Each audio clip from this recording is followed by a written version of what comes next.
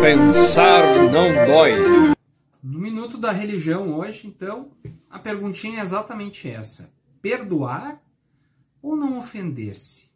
Ou será que podemos trabalhar com as duas alternativas?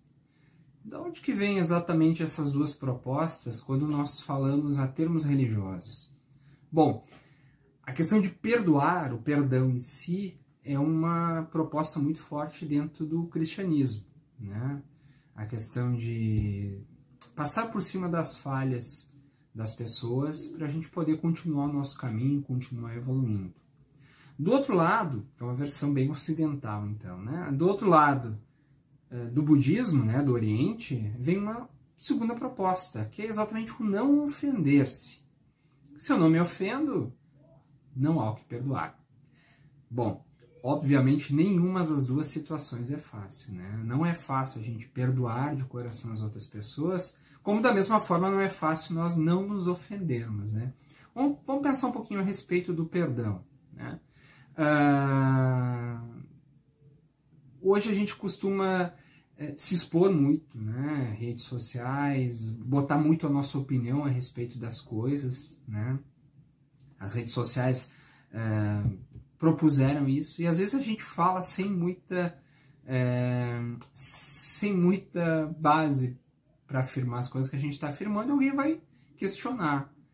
Talvez ao invés da gente ser humilde o suficiente dizer, bom, realmente, né? Ou quem sabe não concordo, mas nós acabamos pegando como uma ofensa pessoal. Né? Se a gente alimenta constantemente esse sentimento é, de ofensa, então a gente está com um problema grande, né? Porque a gente não vai conseguir mais viver a não ser brigando com as outras pessoas. O perdão passa exatamente por isso. Né? Aceitar que o outro é alguém que também está num processo evolutivo como nós, também é uma pessoa falha, assim como nós somos falhos. Tá? Agora tem uma questão interessante nessa do perdão. Para mim, perdoar alguém, para chegar alguém e dizer assim, eu te perdoo, eu tenho que me colocar numa situação de superioridade. Né? Por que, que eu sou tão especial? O que, que eu tenho de tão especial para perdoar as outras pessoas? Não é isso? Interessante. Do outro lado, o não ofender-se, que é a grande proposta aí, por exemplo, que o budismo traz, é uma coisa super difícil de fazer. Isso trabalha exatamente com a ideia de controle do próprio ego, né? Conta uma história que um certo discípulo chega para Buda e diz assim: Buda, eu quero ser feliz. Ou eu quero a felicidade. E Buda teria dito a ele: tranquilo, elimina o eu e elimina o quero. Ou seja, não é elimina o eu, é controla o eu. Né? A gente não elimina nossa, nossa, nosso ego porque é a nossa identidade, mas a gente controla o nosso ego. E elimina o quero, elimina esse desejo constante. Montaigne já dizia que esse desejo constante de estar tá mostrando para os outros ou querendo agradar as outras pessoas é a fonte eterna da nossa insatisfação dos nossos problemas.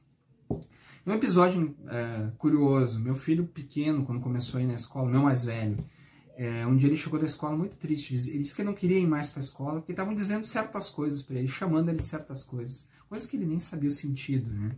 E um dia eu perguntei para ele, tá, mas o que eles estão te chamando? Tu é isso? E ele dizia, não. Eu disse, bom, então não é contigo. Seria exatamente essa postura que a gente deveria adotar. Agora, como somos seres em evolução, a gente deve, no meu entendimento, trabalhar as duas coisas. Trabalhar a possibilidade contínua né, de aprimoramento, de controle do nosso ego, de controle da nossa mente, controle das nossas emoções, para não chegar ao ponto de se ofender. Agora, como somos falíveis, estamos nesse processo de aprendizagem, sempre que nós é, acabarmos nos ofendendo, então vamos perdoar. Mas não perdoar o outro, perdoar a nós mesmos, pela nossa falta de humildade. Seria isso. Como diria o Soares, pessoal, para pensar na cama. Perdoar ou não ofender-se? Ou as duas coisas. Seria isso. Então, Espero que vocês tenham gostado da reflexão. Se gostaram, deixem um ok no canal, uh, se inscrevam, aperte o sininho para saber quando tem vídeo novo e nos vemos na próxima. Tchau, tchau.